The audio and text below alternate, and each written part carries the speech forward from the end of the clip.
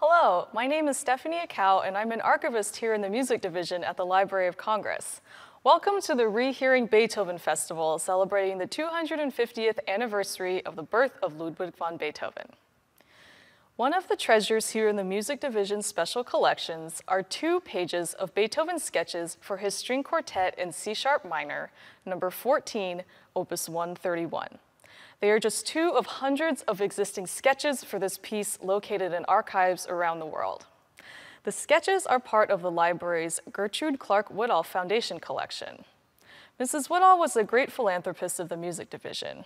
In addition to contributing the funds to build the Whittall Pavilion, which houses the Stradivarius string instruments she gifted, hosts our pre-concert lectures, and many other Library of Congress events, she purchased a number of holograph manuscripts for the library's collections, some from a successful American industrialist named Jerome Stonborough. Stonborough and his wife's family were avid art collectors. Among the manuscripts Mrs. Whittall purchased from him are Richard Wagner's sketches for his opera Parsifal, Clara Schumann's cadenzas for Mozart's Piano Concerto in D minor, K466, in which she built on material Johannes Brahms had composed for the same cadenza, and these sketches for the string quartet by Beethoven. Beethoven wrote the string quartet Opus 131 after completing a commission for Prince Nikolai Golitsyn, consisting of three other string quartets, the opuses 127, 130, and 132. He started composing the quartet sometime near the end of the year 1825 and completed it by summer of 1826, less than a year before his death in March 1827. The piece was among his last and most favorites. The late quartets are a return to a genre that Beethoven had composed in nearly 15 years prior with his completion of the string quartet number 11 in F minor, opus 95. These sketches represent the quartet in its early compositional stages. Late in his career, Beethoven began sketching on multiple staves at once, a break from his early and middle period sketches on which he usually sketched initial ideas on only one staff. Beethoven at this point was paying more attention to the construction of the inner voices and solving issues that arise in counterpoint, or the way that multiple voices interact in a piece of music. A glance at the first two pages reveal many empty measures, particularly in the viola and cello parts, with the first violin part the most complete. Even though Beethoven crossed out all but the first three measures on both pages, he actually largely retained what he had sketched for the first violin in the final version. What is beginning to emerge in these sketches are Beethoven's use of short ascending scales of whole notes that get passed between the instruments for roughly the next 20 bars, past the end of the sketch. The scale starts in the first violin in the last measure of the first stave with an E sharp and continues into the next measure with an F sharp.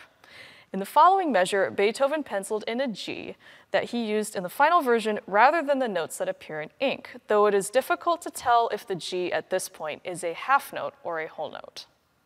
Two measures later, the ascending scale passes to the viola and ascends from A sharp to B to C sharp for another three measures then passes to the second violin where the scales become seven bars rather than just three.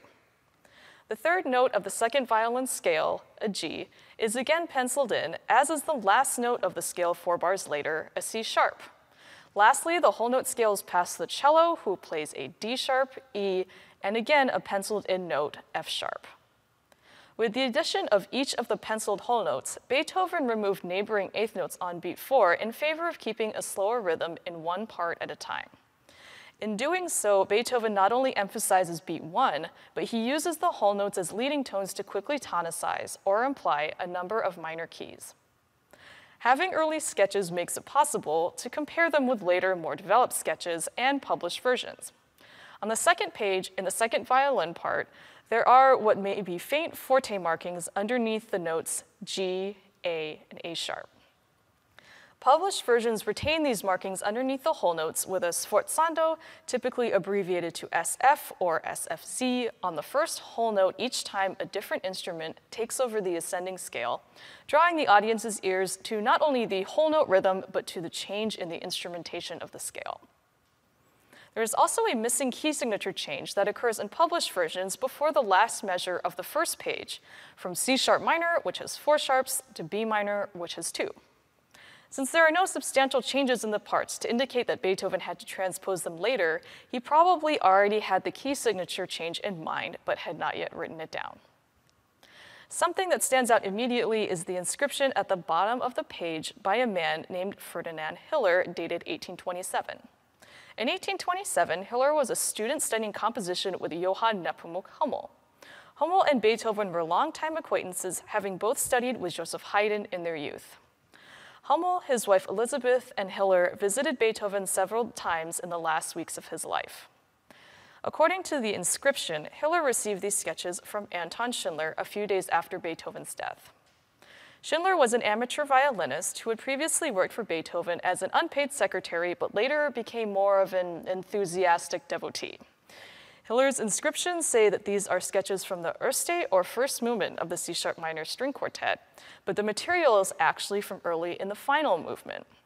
Schindler was unfortunately prone to exaggeration regarding Beethoven, so we will never know if Hiller assumed that these sketches were the first from the first movement because that's what Schindler told him, or if it was an accidental incorrect presumption on Hiller and Schindler's part.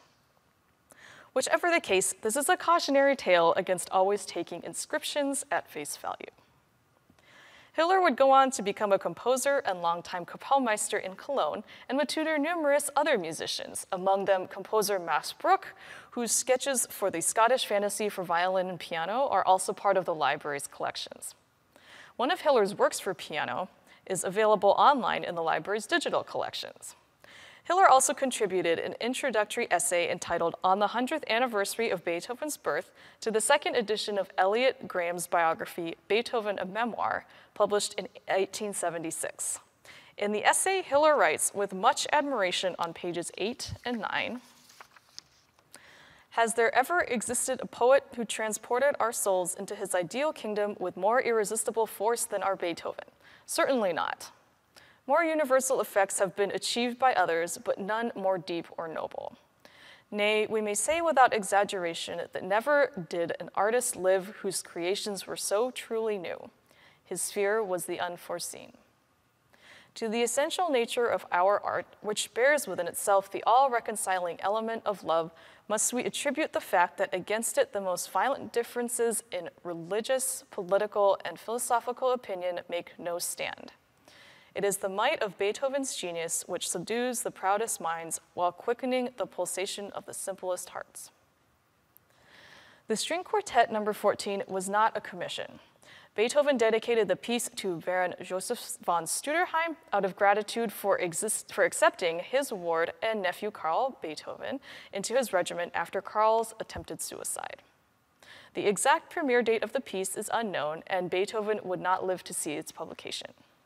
While audiences' initial reactions were tepid, composers such as Schubert, Wagner, and Schumann praised the work. The quartet has been recorded dozens of times, proving Hiller's sentiments were correct. Beethoven's sketches for the string quartet in C-sharp minor, number 14, opus 3131, are available to view online at the Library of Congress's website in the Gertrude Clarke Whittall and Library of Congress Treasures Digital Collections. Thank you for joining me today and tuning in for the Rehearing Beethoven Festival.